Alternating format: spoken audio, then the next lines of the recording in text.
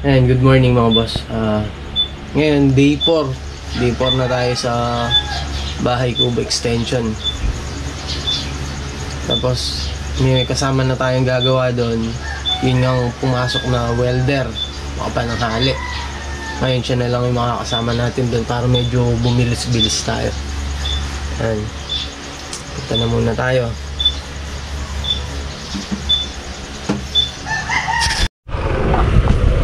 Ayun mga boss, nandito na tayo. Ah, yung kasama natin, parang, ah, nandyan na. Nandito na rin pala siya. Sisimulaan na siya. Ayun mga boss, ah, eto gagawin na muna natin yung pinaka-step ng hagdan natin. Ayan. Ayusin niya, tapos tayo na lang yung magwe-welding. Ayan. Yung pinaka patungan natin. Diyan na lang natin i-welding. Unahin na natin hagdan. Kung kakayanin nating unahin yung hagdan. Yun na muna gagawin. Tapos yung itatayo para dito. Yan. Itatayo yung poste dito. Tsaka doon sa kabila. Titingnan natin kasi gusto niyang pabago yung bubong nito. Gusto mas tumaas pa siya para hindi daw mainit. Tingnan natin kung ano magandang diskarte dito. Kung bakal na yung kalahati niya pati yung sa kubo isasama na natin. Saka pa ganyan. Tingnan natin kung paano magandang maging design na tong pinakabubong ng kubo. Ayan. kasi yung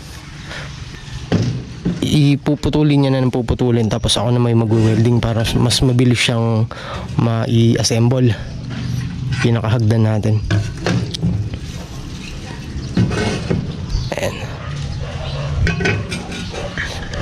Naglagay na muna kami ng plywood para hindi masyado mainit. Mainit papunta rito ay sikat ng araw. Kaya naglagay muna kami pansamantalang plywood dito. Yan. Trabaho na muna, trabaho na. Ayan mga boss, yung pinaka step ng hagdan natin. 1 meter siyang pag ganun, 30 siyang pag ganyan. Yan. Tapos yung kada step niya, yung taas, 20 cm. Yan. Ganyan yung magiging taas niya. Dito na natin na fabricate. Yan. Tapos. Yan siya. Ayan mga boss, yung ilalagay natin, lalagyan pa natin siyang ganito rito. Para yung mesh wire, hindi siya bababa hanggang dito. Kasi ito, i-welding natin to, nakaangat ng konti. 1 cm dito sa ilalim ng flat bar na to. Ito. Angat natin yan ng konti. Para pag nilagay yung mesh wire, nandito siya. Nandito sa gitna. Nakapa nakapagitna siya sa halo natin na ilalagay. Bubuhusan kasi natin to. Semento para pwede siyang i-tiles. Para kahit maulanan, maulanan siya rito, walang problema.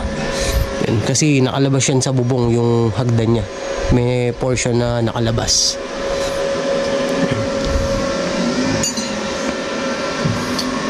Mas babaguhin na natin yung siguro by Monday gagawin natin yung bubong dito.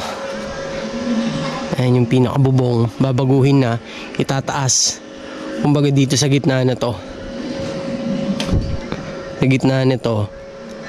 Ayan. Maglalagay tayong poste. Dito sa gilid ng pinakakubo. Tapos pag ganyan yung bubong niya. Pag ganun, tsaka pag ganyan na. Isang bubong na lang siya. Hindi na hindi na yung magpo-poste tayo rito tapos ganun. Tapos may isa na namang nakaganyan dito manggagaling sa kubo. Gagawin natin nakapaganyan na. Dalawa na lang siya. Ayan.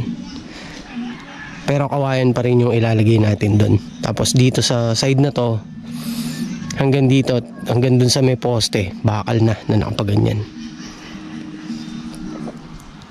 Pero yung dito sa side ng kubo na to puro kawayan pa rin ang gagamitin natin yan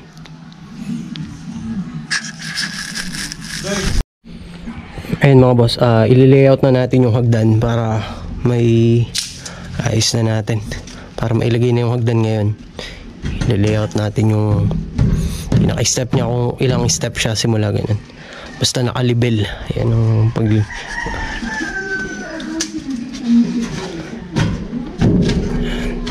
Tapos doon tayo guguhit niyan sa plywood kung hanggang saan siya.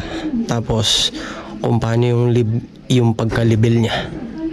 Pagkahulog, yung step, yung pababa niya, step ulit, baba. Ayan.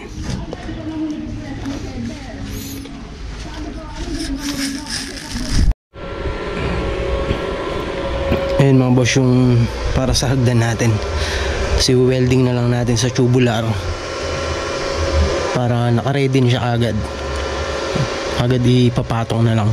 Tal nandito na yung layout niya. Nakaguhit na yan dito. Ayan, ayan may guhit yan. Ganyan. Tapos papunta rin. Tapos, i-welding na natin siya rito. Dito na tayo babase niyan. Dito sa ginuhit natin.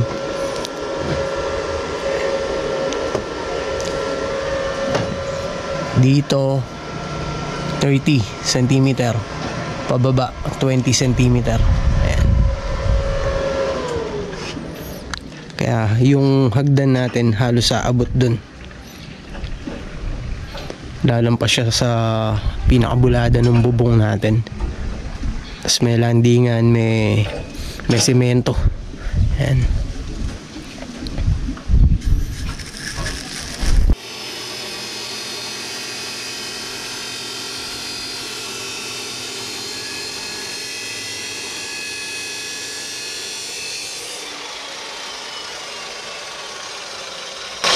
Ayan mga boss yung hagdan natin. Ipapabricate na natin. Rectang fabricate na tayo dyan. Tapos ayun nga yung pinuputol niya para dun sa pinakapaanong step. Ayan. Yan yung pinuputol niya para dito. Dito yun, parang ganito. Ayan. Tapos ito, mesh wire, tsaka buhos. Yun na. Yan yung layout natin. Ayan, ganyan siya. Tapos may semento rito yan. Landingan niya may semento. Para pwedeng iwan yung chinelas, hindi puputik. Pag umuulan, hindi na lang magkakaputik mga chinelas na iniiwan dito sa baba.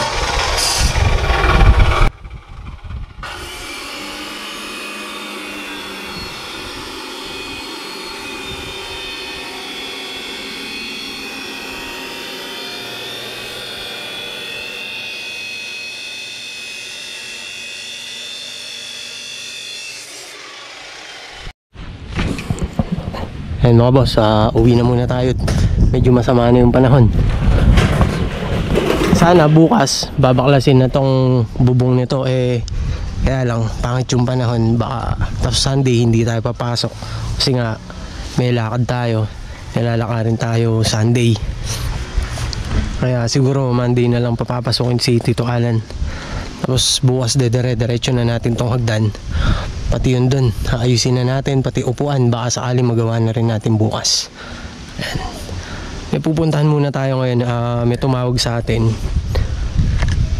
Pinapa-estimate na naman niya yung sa tiles. Matagal na akong pinapatawag kaya lang hindi ko pa siya napupuntahan. Eh, ngayon tumawag ulit. Uh, tatry kong tingnan. Ayan. uwi na muna tayo mga boss. Tignan natin yung nagpapatiles ulit. Ayan. Ayan mga boss, nandito tayo sa ipapatiles. Ayan.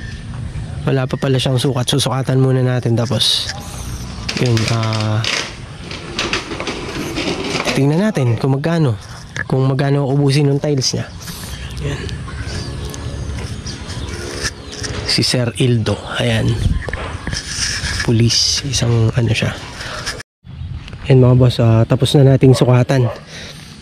Ah, tatapusin lang natin yun sa arayat natin tapos gusto niya gawin na namin. Usapan na lang namin yung presyo ng labor. Ayan na lang. Ayan uwi na tayo medyo ginagabi na. Ayan yung paligid niya. Puro tanim ng mais ampalaya, mangga ayan. Ayan mga boss nandito na tayo sa bahay. Ah, gusto na gusto ni sir yung pinunta natin kanina sa tiles, ako yung mag-tiles. Eh, pinakiusap ko na lang na tatapusin ko muna yung trabaho dito sa Arayan. Kaya, ayun, willing naman daw siyang maghintay. Kasi nga, may tiniles na ako dun sa kanila na nakita niya at nagustuhan yung pagkakagawa. Kaya gusto niya, ako pa rin yung mag-tiles. Ayaw niya sa iba. Pag gusto niya, kontrata, pero gusto niya, ako yung magta-tiles. Ako mismo yung magta-tiles. Kaya, ayun, medyo pagka tapos natin doon magiging trabaho eh dadalhin natin yung iba doon na mga kasama natin tapos ako yun sa tiles. Eh, ganun na lang siguro gagawin natin. And bukas na lang ulit mga boss.